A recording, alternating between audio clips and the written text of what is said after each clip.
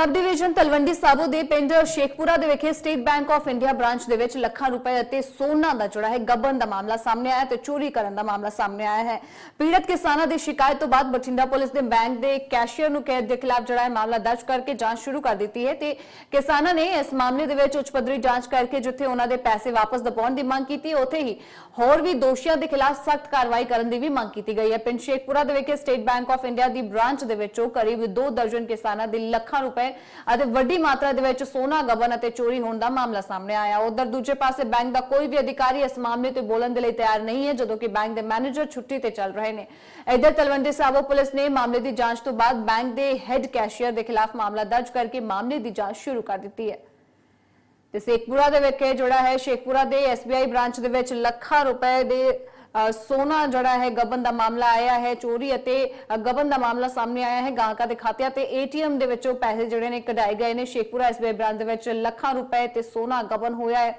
ਸ਼ੇਖਪੁਰਾ ਦਾ ਮਾਮਲਾ ਸਾਹਮਣੇ ਆਇਆ ਜਿੱਥੇ ਕਿ ਇਸ ਜਿਹੜਾ ਹੈ ਵਾਰਦਾਤ ਨੂੰ ਅੰਜਾਮ ਦਿੱਤਾ ਗਿਆ ਹੈ। ਸ਼ੇਖਪੁਰਾ SBI ਬ੍ਰਾਂਚ ਦੇ ਵਿੱਚ ਜਿਹੜਾ ਸਟੇਟ ਬੈਂਕ ਆਫ ਇੰਡੀਆ ਦੇ ਬ੍ਰਾਂਚ ਦੇ ਵਿੱਚ ਇਸ ਲੱਖਾਂ ਰੁਪਏ ਦੇ ਗਬਨ ਦਾ ਮਾਮਲਾ ਸਾਹਮਣੇ ਆਇਆ। ਕਰੀਬ 1.5 ਡਜ਼ਨ ਕਿਸਾਨ ਜੁੜੇ ਨੇ। ਉਹਨਾਂ ਦੇ ਨਾਲ ਇਸ ਤਰੀਕੇ ਦੀ ਠੱਗੀ ਜਿਹੜੀ ਹੈ ਬ੍ਰਾਂਚ ਦੇ ਵੱਲੋਂ ਕੀਤੀ ਗਈ ਹੈ। ਬੈਂਕ ਦੇ ਕੈਸ਼ੀਅਰ ਦੇ ਖਿਲਾਫ ਮਾਮਲਾ ਵੀ ਦਰਜ ਕੀਤਾ ਗਿਆ ਹੈ। ਕਿਸਾਨਾਂ ਦੇ ਵੱਲੋਂ ਦਿੱਤੇ ਗਏ ਸ਼ਿਕਾਇਤ ਦੇ ਉੱਪਰ ਪੁਲਿਸ ਦੇ ਵੱਲੋਂ ਕਾਰਵਾਈ ਕੀਤੀ ਗਈ ਹੈ ਤੇ ਮਾਮਲਾ ਦਰਜ ਕਰ ਲਿਆ ਗਿਆ ਹੈ। ਕੈਸ਼ੀਅਰ ਦੇ ਉੱਪਰ ਸ਼ੇਖਪੁਰਾ ਦੇ ਵਿੱਚ ਕਿਸਾਨਾਂ ਦੇ ਵੱਲੋਂ ਸ਼ਿਕਾਇਤ ਦਰਜ ਕਰਾਈ ਗਈ। ਗਾਹਕਾਂ ਦੇ ਖਾਤਿਆਂ ਤੇ ਏਟੀਐਮ ਦੇ ਵਿੱਚੋਂ ਲੱਖਾਂ ਰੁਪਏ ਦੇ ਗਬਨ ਦਾ ਮਾਮਲਾ ਸਾਹਮਣੇ ਆਇਆ। ਲੋਕਰਾਂ ਤੋਂ ਸੋਨਾ ਚੋਰੀ ਕਰਨ ਦਾ ਮਾਮਲਾ ਸਾਹਮਣੇ ਆਇਆ।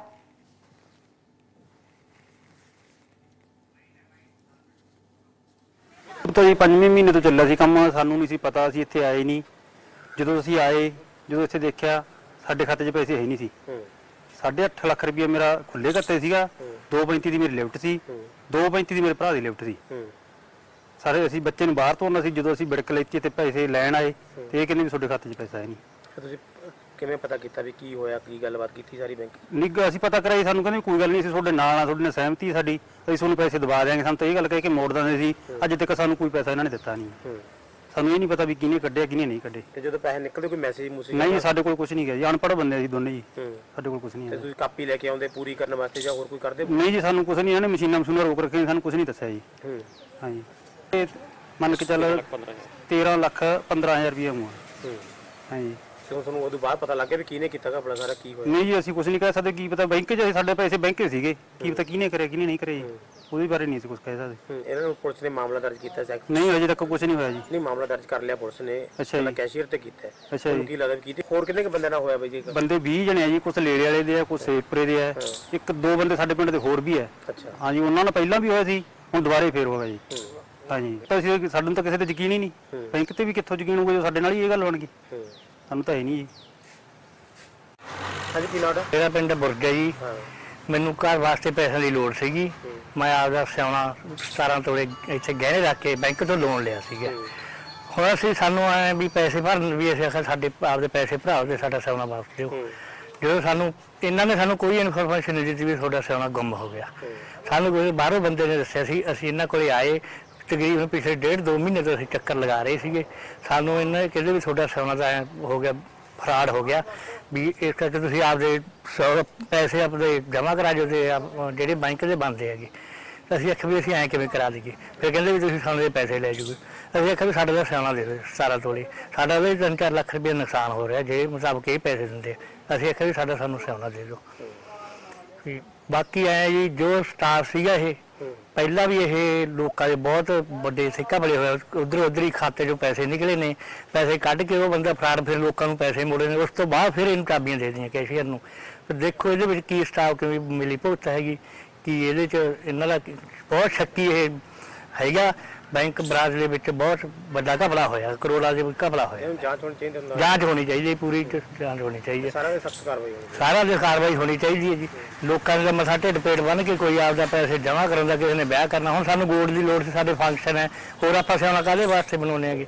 ਹੈ ਜਦੋਂ ਆਪਾਂ ਪਾ ਹੀ ਨਹੀਂ ਸਕਦੇ ਨੂੰ ਲੈ ਨਹੀਂ ਸਕਦੇ ਮੌਕੇ ਤੇ। ਫਿਰ ਆਪਾਂ ਨੂੰ ਸਿਆਣੇ ਦਾ ਕੀ ਹੋ ਹਾਂਜੀ ਨਾਮ ਮੇਰਾ ਨਾਮ ਰਾਜਵੀਰ ਸਿੰਘ ਹੈ ਜੀ। ਮੈਂ ਭਾਰਤੀ ਕਿਸਾਨ ਯੂਨੀਅਨ ਏਕਤਾ ਸਿੱਧੂਪੁਰ ਦਾ ਜਨਰਲ ਸਕੱਤਰਾਂ ਬਲਾਕ ਤਲਵੰਡੀ ਸਾਬੋ ਦਾ। ਰਾਜੇ ਕੀ ਗੱਲ ਹੋਈ ਹੈ? ਕਿਵੇਂ ਘਟਨਾ ਵਾਪਰੀ ਹੈ? ਕਿੰਨਾ ਘਪਲਾ ਇੱਥੇ ਹੋਇਆਗਾ ਤੇ ਕਿਹਨੇ ਕੀਤਾ ਹੈਗਾ ਸਾਰਾ? ਜੋ ਹੁਣ ਤੱਕ ਜਥੇਬੰਦੀ ਕੋਲੇ ਆਏ ਜੀ 20 ਬੰਦੇ ਆ ਤਕਰੀਬਨ ਜੀ ਤੇ ਉਹਨਾਂ ਦਾ 40 ਲੱਖ ਰੁਪਇਆ ਦੇ ਕਰੀਬ ਹੈ। ਤੇ 17 ਤੋਲੇ ਆ 37 ਤੋਲੇ ਸੋਨਾ ਜੀ। ਹੂੰ। ਇੱਕ ਦਾ 20 ਤੋਲੇ ਇੱਕ ਦਾ 17 ਤੋਲੇ ਹੈ। ਹੂੰ। ਤੇ ਇਹ ਪੂਰੇ ਸਟਾਫ ਨੇ ਮਿਲ ਕੇ ਕਰਿਆ ਜਾਂ ਕੁਝ ਕਰਿਆ ਇਸ ਤਾਂ ਬੈਂਕ ਨੂੰ ਜਾਣਦੇ ਆ। ਸਾਨੂੰ ਨਹੀਂ ਪਤਾ ਵੀ ਕਿਹਨੇ ਕੀ ਕੀਤਾ ਹੈ। ਤੇ ਜਿਹੜੇ ਇੱਥੇ ਆਉਂਦੇ ਸੀਗੇ ਇੰਟਰੀਆਂ ਮਰਵਾਉਣ, ਇਹਨਾਂ ਦੇ ਖਾਤੇ ਖਾਲੀ ਸੀਗੇ। ਕੁਝ ਦੇ ਲਿਮਟਾਂ ਦੇ ਪੈਸੇ ਸੀਗੇ ਸੇਵਿੰਗ ਖਾਤੇ ਵੀ ਸੀ ਖੁੱਲੇ ਖਾਤੇ ਵੀ ਸੀਗੇ, ਤੇ ਫਸਲ ਦੇ ਪੈਸੇ ਆਏ ਸੀ। ਦੇਖੋ, ਗਾਹਕ ਕੋਈ ਵੀ ਹੈ, ਕਿਸਾਨ ਹੈ, ਆਪਾਂ ਸਭ ਤੋਂ ਵਧੀਆ ਅਦਾਰਾ ਬੈਂਕ ਨੂੰ ਮੰਨਦੇ ਹਾਂ ਵੀ ਆਪਾਂ ਸੇਫ ਬੈਂਕ ਦੇ ਵਿੱਚ ਆਪਾਂ 골ਡ ਵੀ ਰੱਖਦੇ ਹਾਂ, ਪੈਸੇ ਵੀ ਰੱਖਦੇ ਹਾਂ, ਵੀ ਬੈਂਕ 'ਚ ਰੱਖ ਕੇ ਆਪਾਂ ਟੈਨਸ਼ਨ ਫਰੀ ਹੈ। ਸਾਡੇ ਨਾਲ ਹੀ ਕਿਸਾਨ ਖੜੇ ਆ ਗੁਰਤੇਜ ਸਿੰਘ। ਇਹਨਾਂ ਦਾ ਮੌੜਾ ਆੜਤਗੇ 'ਚ ਸੀਗਾ 20 ਲੱਖ ਰੁਪਇਆ। ਇਹਨਾਂ ਦਾ ਆੜਤੀਆ ਲੈ ਗਿਆ। ਜੇ ਉਧਰੋਂ ਆਪਾਂ ਕਹਿੰਦੇ ਵੀ ਉਦੋਂ ਬੈਂਕ 'ਚ ਠੀਕ ਹੈ, ਤਾਂ ਇਧਰੋਂ ਬੈਂਕ ਵੀ ਲੈ ਗਏ। ਤੇ ਕਿਸਾਨ ਤਾਂ ਦੋਨੇ ਪਾਸੇ ਮਾਰਿਆ ਗਿਆ ਜੀ। ਉਸ ਤੋਂ ਬਾਅਦ ਅਸੀਂ ਇਹਨਾਂ ਤੋਂ ਆਏ ਸਟਾਫ ਕੋਲੇ।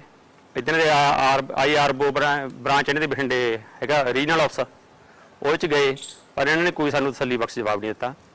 ਫਿਰ ਅਸੀਂ ਪਿੰਡ ਵੱਲੋਂ, ਜਥੇਬੰਦੀ ਵੱਲੋਂ ਇੱਥੇ ਧਰਨਾ ਦਿੱਤਾ 17 ਤਰੀਕ ਨੂੰ। ਉਦੋਂ ਫਿਰ ਡੀਐਸਪੀ ਸਾਹਿਬ ਆਏ ਤੇ ਮੈਨੇਜਰ ਸਾਹਿਬ ਇਹਨਾਂ ਨੇ ਉੱਪਰ ਗੱਲ ਕੀਤੀ ਆਪਦੇ। ਫਿਰ ਇਹਨਾਂ ਨਾਲ ਗੱਲ ਹੋਈ ਵੀ ਅਸੀਂ ਐਫਆਈਆਰ ਲਾਂਚ ਕਰਾਂਗੇ, ਪੁਲਿਸ ਪ੍ਰਸ਼ਾਸਨ ਕਹਿੰਦਾ।